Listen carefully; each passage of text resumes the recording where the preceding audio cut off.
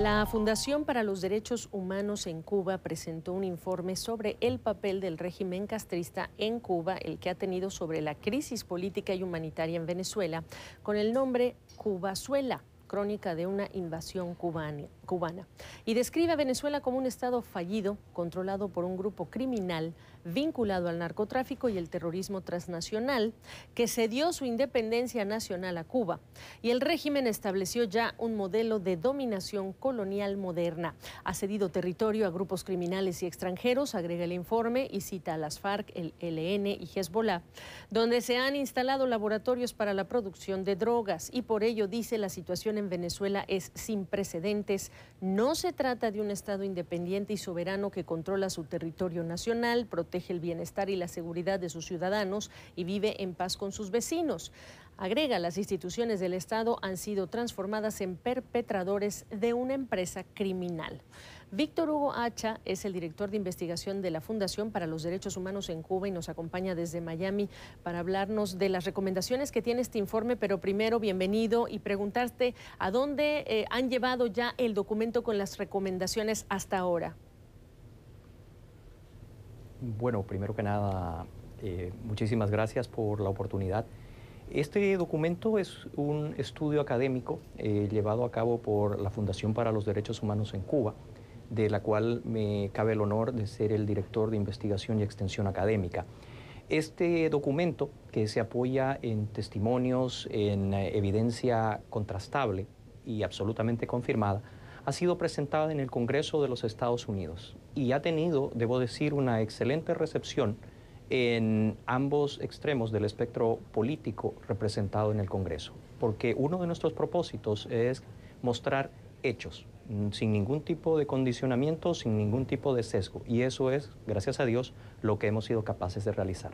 Lo que ustedes aportan en el momento actual, cuando ya estamos hablando de una estrategia de la Casa Blanca para eh, buscar una transición pacífica en Venezuela, eh, nos interesa y nos interesa para entender cuánto de la estrategia actual incluye recomendaciones o incluye medidas que ya ustedes han recomendado y cuánto realmente no se ha abordado esta parte de la que ustedes hablan.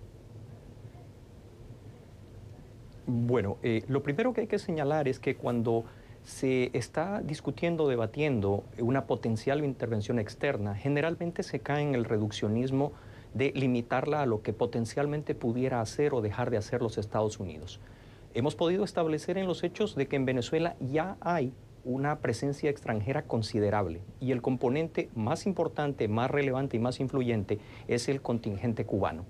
De acuerdo a los datos presentados por oficiales del propio gobierno cubano, estamos en un estimado de entre 20 y 23 mil efectivos. Muchos de ellos están infiltrados dentro de las llamadas brigadas médicas. Esto de por sí ya constituye una flagrante violación de derechos humanos, una revictimización de personas que ya han sido sometidas a trata y tráfico que son forzadas, como lo reflejara el New York Times, a realizar labores de proselitismo e inclusive potencialmente actuar como escalón de apoyo para futuras operaciones de orden paramilitar, a que además se los use de cobertura para acciones de inteligencia, contrainteligencia y represión. A este contingente habría que añadirle lo que testimonios presentados en la Organización de Estados Americanos han demostrado la presencia efectiva de militares de fuerzas especiales cubanas que han penetrado cada una de las instituciones relevantes del Estado venezolano y que en muchos casos son responsables y perpetradores de violaciones de derechos humanos. ¿Qué me dice del lado em, no lícito de las operaciones no lícitas cuando Washington está buscando ahogar, em, impedir más llegada de dinero, de dólares a las arcas del gobierno del cuestionado Nicolás Maduro? Esa es una excelente pregunta. Eh, la comunidad internacional, eh, los propios Estados Unidos, se han sorprendido al ver la resiliencia, la resistencia eh, del régimen de Nicolás Maduro a las sanciones formales. Y la respuesta a eso está abordada también en el estudio. la segunda más importante fuente de ingresos para este régimen es el circuito de lo ilícito, predominantemente narcotráfico. Esto también está apoyado en evidencia contrastable que ya ha sido probada y demostrada en cortes federales en los Estados Unidos. Y aquí vuelve nuevamente a ser relevante el componente cubano porque al facilitar estos circuitos del ilícito, no solo se facilita la supervivencia del régimen, que de esta manera puede sostener y pagar a los colectivos, a los militares, entre comillas, leales al régimen, sino también se transforma en un hub para organizaciones extrarregionales, para actores extrarregionales que con estos recursos son capaces de adquirir capacidades que antes no tenían. Y esto es peligroso para la seguridad estratégica de la región y para la seguridad de los Estados Unidos. ¿Y es un área que no ha cubierto aún la estrategia estadounidense? No es un área que haya sido contemplada porque el reconocimiento de este hecho, y esto está contenido en eh, las recomendaciones, es que con lo que estamos lidiando en Venezuela es un animal totalmente nuevo.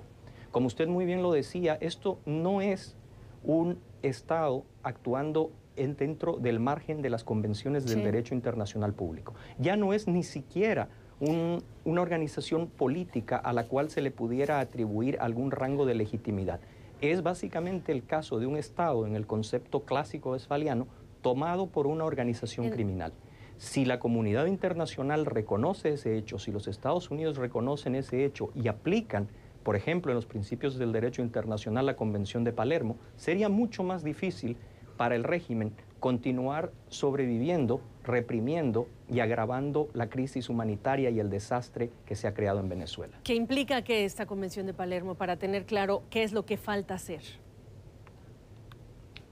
Si usted reconoce la condición de la organización que controla los destinos y las decisiones de la República de Venezuela como una organización del crimen transnacional organizado, usted puede en el caso del derecho internacional público, coartar realmente su capacidad de actuación financiera y en el ámbito de la ley federal de los Estados Unidos, procesarla, perseguirla con esos instrumentos. El efecto inmediato, y es parte también de las recomendaciones, sería que corporaciones, estados o individuos que colaboren en el circuito financiero, la triangulación de recursos y el lavado de dineros para esta organización criminal serían tratados como cómplices de la misma, con consecuencias que creo yo empresas rusas, chinas o de otras procedencias no estarían dispuestas a enfrentar si es que continúan, vuelvo a repetir, facilitando las transacciones financieras de la organización de Nicolás Maduro. Hugo, ¿será por eso entonces que en algunos puntos o en algunos debates periodísticos y de analistas hay una percepción como que em, eh, empieza a, sentirse una especie de derrota en la estrategia internacional contra, eh, para provocar la transición de gobierno en Venezuela? Precisamente esto que está usted diciendo, la falta de actuación en este otro lado que es cubrir el lado ilícito, ahogar de recursos por este otro lado que es el lado de las actividades ilícitas? Efectivamente, uno de los eh, problemas es que generalmente eh, las organizaciones del eh, mundo de lo ilícito son mucho más rápidas, mucho más adaptables y en este sentido mucho más innovadoras en su proceder. Para los estados formales, para los representantes de los estados formales, es difícil esta comprensión. Le doy un ejemplo en proyección. Dos años atrás nadie quería tener ningún tipo de contacto con Bashar al-Assad.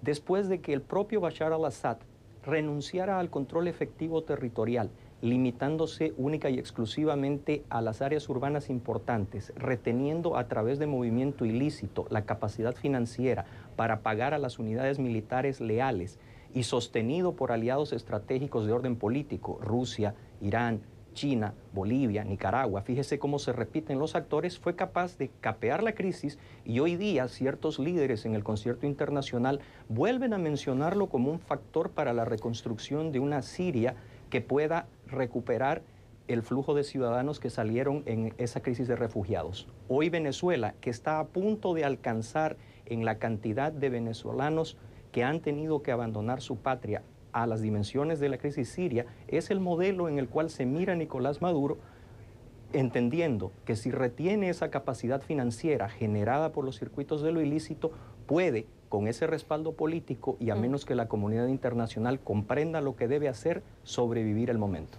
Bueno, por eso la relevancia de entender hasta dónde ha llegado este documento, en manos de quién está, eh, en vista de que parece el principio de una solución que se pueda eh, llamar así solución, pasaría por resolver este, trabajar en este otro lado. Gracias, Hugo.